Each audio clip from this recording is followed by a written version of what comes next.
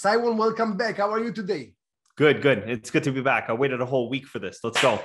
Awesome. So today we are going to talk about the Zoho expense setting section, right? Yeah, yeah. Light overview, couple of main things. We'll do a test trial. Awesome. And what's important for me the most is that you'll tell us what you can do mm-hmm. instead of like showing us click, click, click, because I don't want to be too technical so people won't dire, but sure. I want them to understand the software, what they can use it, and eventually they will take an educated decision if this tool is for them. Yeah, absolutely. Awesome. Let's share okay. screen. Okay. All righty. Do you like my background, by the way? It's it's beautiful. It's from today, 6:40 a.m. This is when everything started. It was awesome. That's good. I was on my like 15th dream. okay. So this is a test platform. Um, we've used this before in the past. And yeah, this is the login page as a user. So the views are here. Um, for people who are admin, they'll have this little section over here where they can control some of the functions and the settings. But this is essentially where you work out of. And one really, really cool, important thing to remember all the receipts that you import into expense, there is no limit on scanning. From what I understand, every single receipt will be auto scanned. In okay? Zoho books, it costs money. That's right. But in expense, you can auto scan, which is a huge, uh, it's a big help. So maybe I don't need to use Zoho books to upload the shit. I can do it from here. Possible. Yeah. But again, this is more of a control process, which will help the people submitting you know you have a massive team that does that for you. So that's another beautiful thing right? Um but yeah so you got obviously your personal settings here and things like that uh mm-hmm. analytics. And you can have the trip section but to be quite honest with you a lot of people and customers that we've dealt with they don't really use the trips as much unless it's a massive company that actually needs us for control. So trips will be let's say like my last week trip mexico multiple people hotels tri- okay okay yeah, yeah. And it's more for an approval, but there's no like booking area. This is where I guess Zoho Expense lacks a little bit from the bigger companies like Concur or Expensify. You can't book travel through the platform, which is fine. It's not yeah, that useful. Okay. Yeah. I mean, and we those, know companies. Yeah, yeah. And those software, Concur and all those softwares, when you book, uh, let's say, hotel from the software, it probably will limit you to some vendors, right? You can't do it for, with anyone. Yeah, there's like they have a massive list of uh, suppliers that they work with. It, mm-hmm. It's all the main ones, but the problem is too. It's also it's expensive. It costs more money to have that option as well. Oh, okay. Because you have like you know booking advisors and things like that, so it's just more expensive. So, anyways, um, so that's your view, okay. And yes. by the way, this is the new expense Zoho expense. This is 2.0. It came out I think around May. Before that, that, we the had new the one, one is crazy, right? Yeah, yeah, big big changes. So let's let's dive into a couple of small things. So under okay. the admin area, you have the settings, and I don't want to worry about this because a lot of this is reporting, a lot of this is approvals and things like that. But if you head over to settings, this is where the majority of the control sits. Okay. okay. And you know, you have the typical stuff and all this organizational profile, taxes and stuff, all that feeds from Zoho Books. So whatever you update in Zoho Books, we'll update here. Wow, that's great. Such yeah. a relief. Yeah, because you don't have to set up the entire organizational crap right. all from scratch. Yeah. Um, okay, let's go into modules. This is where you can customize all of your little areas. Okay. You have quite a bit of control here. We're not going to go into too much detail here, but within each one, you have a ton of different uh, controls, things that you can change, modify fields that you can add, make mandatory. Again, just high level stuff, right? Yeah. So let, let's stay with the high level because you, you already yeah. started to click and I got totally overwhelmed. so yeah. let's go back to the trips. With the yeah. trips, this is where bigger companies will start to log their trips. That's right. And yeah. this is the settings of the trips. How they will do it. Exactly. Approval yeah. processes, automations, and so on. Yeah, yeah, exactly. Awesome.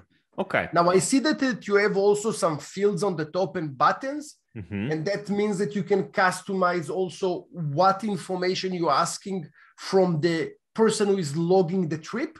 Exactly. And also you can do some with the links and buttons, you can create some workflows and custom functions for the cool stuff. Yeah. Yeah. It's beautiful.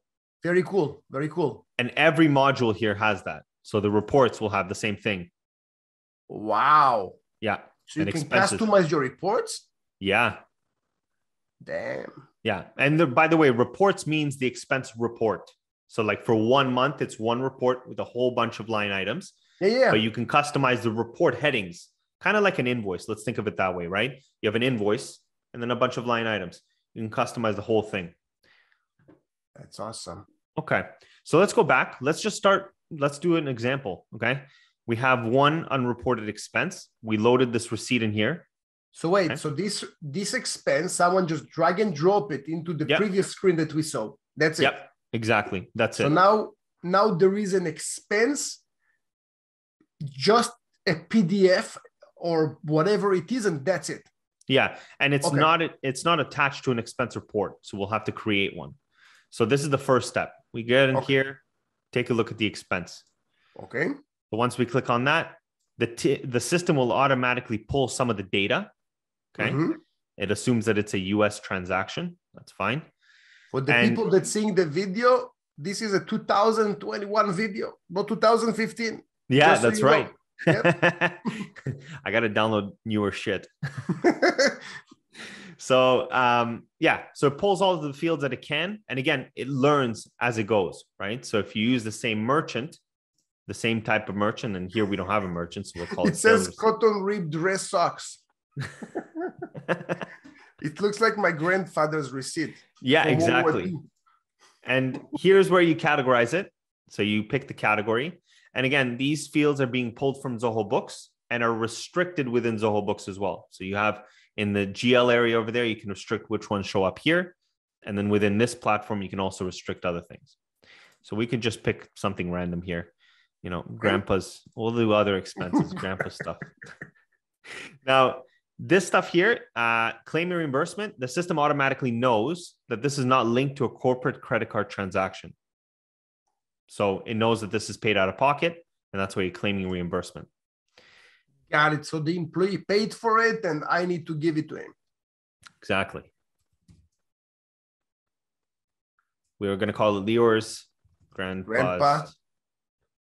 rib dress socks. Deep, deep, Dip. dress. socks. Exactly. See, stick to accounting. Okay. and again, all of these fields can be customized, but we can put reference here, but it's not really that useful to be quite honest with you. And then we click add to report. This is where we What create is our the first report? report. Yeah. So report is just a uh, it's a folder with a whole bunch of receipts. Let's think about it that way, right? like a bucket.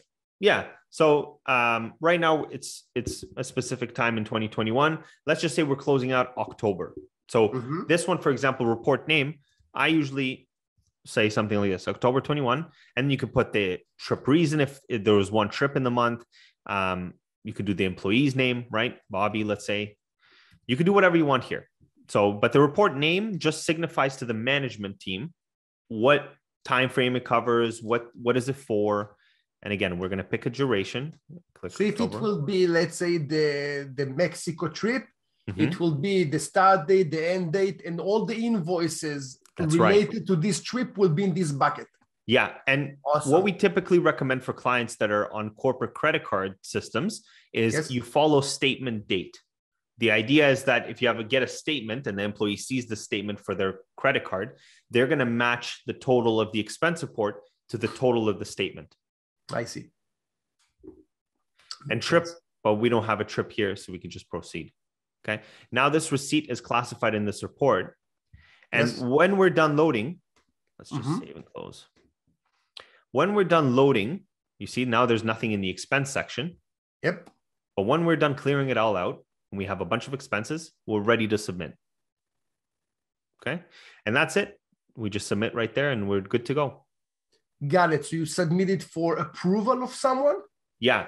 And and that can be customized too, right? Because some executive teams they don't need to get an approval for certain things, right? If it's within the policy that they have unlimited spend or they have a they manage their own buckets throughout the year, then they, we can customize a specific workflow that just allows it to just flow through and just click approved right away. Can I say that uh, up to five hundred dollars a day, no approval required? Awesome. Absolutely, yeah. Very cool. Maybe that's for another video. Very cool.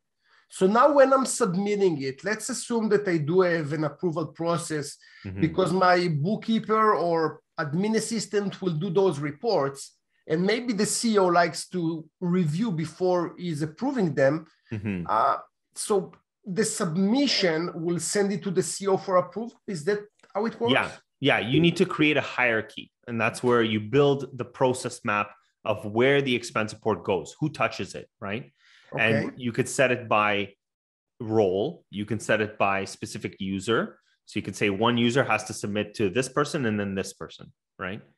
So different things like that. Or you can set also a limit. So you could say the first user can submit if it's uh, can approve it if it's under two thousand dollars, the entire report. If it's over two thousand dollars, CEO takes a look. I see.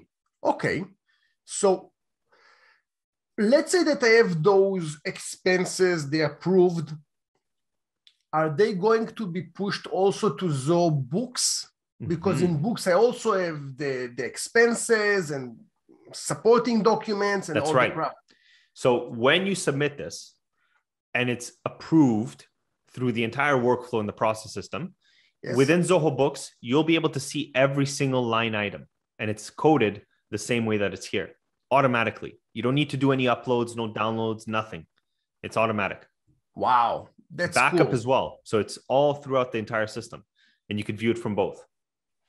So it's really like the expense is an extension of books. That's right. Yeah. And it's an extension for serious companies. If you're a serious company, you do expense. I am a serious company. Exactly. okay. So that's awesome. Okay. Yeah, what else we have? So we have the the advances, advances. Mm-hmm. Yeah. And advances is something that's uh, typically not recommended for most companies, to be quite honest with you. Um, uh, advances, let's say, this is only for companies that do not have corporate credit cards. Okay. Because if you have a corporate credit card, you just prepay a specific amount so that the employee can buy more. Yes. Right. Yes. Um, but if if the employee if you don't have corporate credit cards for this one employee and they're stuck somewhere, they need to, you can create an advance and it just puts it's kind of like a prepayment and it sits on their account and then it applies to the expense report once it's submitted. I see. Okay. Yeah. And cards, I assume those will be the different credit cards and yeah. will they sign too? Yeah. And and the beautiful thing about this area is you can actually add a personal credit card too, right? So you can yes. add the feed for a personal credit card and then filter through which ones are business related to create expense reports from them and mark them as reimbursable. Lots of different options here. Can you also connect the credit card bank directly or it's all manual? The feed? Yeah, so with business credit card, with the corporate credit card, I know that you can connect the bank feed and it's sucking the information, no problem. Mm-hmm. What do you do with personal cards? Because you can't really ask the employee to connect his bank account to the card. Some companies do this. So they'll say, hey, connect if you're the com- personal cards. Yeah, if you're comfortable with it, you can connect the personal credit card feed here. And if you know that you're using this one credit card for personal, sorry, for business related transactions, then you can pick and choose out of it. I see, but that will happen only when I'm I'm saying this card is only for business work. No, that's the beautiful thing about the personal side. So okay. you can have, let's just say I'm an employee of Amazing Business Results, right? Yes. And I have a personal credit card. I am not at the level that you allow me to have a corporate credit card, right? Okay. So I can connect my personal credit card here. And every so often, when I see something that is business related for Amazing Business Results, I then select that one line and then I put it against it. It just saves you a little bit of time. I see. So yeah. me as the employee, I will see my feed. Other people cannot see my feed. And from the bank feed with all the transaction, I can select which one's going to the expense. Yeah, yeah. Only wow, admin ah, will be able to see cool. the feed, but it's not like uh, unless it's private and you're really scared about it, then don't connect your personal card. Yeah. Yeah. And I, I will also say something very funny. Simon is always watching my my expenses, and when I'm expensing, uh, you know what I'm going to say. So when when I have a big expense, he will call me. Hey, you spend too much about this and that. This is how much he cares about businesses. So one time I wanted to drive him nuts. So I created with Photoshop. I oh my created, goodness, yeah. You remember? Yeah. I created an invoice with Photoshop of 20,000 Viagra pills. and I uploaded to the system and it took about two minutes. And he's calling me, said, Leo, you cannot put Viagra pills on the business. When I thought he will ah. ask me, Leo, you will get heart attack from 20,000 Viagra pills. Yeah, I didn't care about your health. I cared about the Yeah, re- about- regulations. Yeah, that that was that was crazy. So yeah, that off track, but that was cool. Yeah. two minutes that you found out about yeah, you know, 20 the, the crazy thing about these entire systems is that you can automate anything. You can notify somebody when something uploads. You can create pretty much anything. That's the beautiful thing about Zoho and Deluge. Like the sky's the limit. It's it's insane. Absolutely crazy. I our team has never seen so many people happy with a software in the last like three years, and we service all of them. So So from books and all the applications, expense will be the top. It's it's going to take over soon enough. I think that there's a lot of traction right now. The majority of clients that we we talk to about Zoho Books, they end up going with Zoho Expense as well, just because of the functionalities. Wow. that's impressive. And and I know that is is part of the service that your company is giving. You're doing a full setup, uh, creating the policies and everything, teaching Yeah. the company how to use, and from that moment on, they have a vehicle that can drive in. Exactly, everything from start to finish. Yeah, So you don't hold them as hostages that they need you for life. no, I don't like that. Me too, me too. the faster way. we can get rid. we had someone uh, on our weekly session, a, a nice lady that uh, the developer is holding her hostage, and that's and I, we see it a lot that you know companies they just trying to milk their clients as much as possible, and they're making them slaves basically. It's horrible. yeah, it's terrible. yeah. Not the good. It's not the right way of doing business. That's for sure.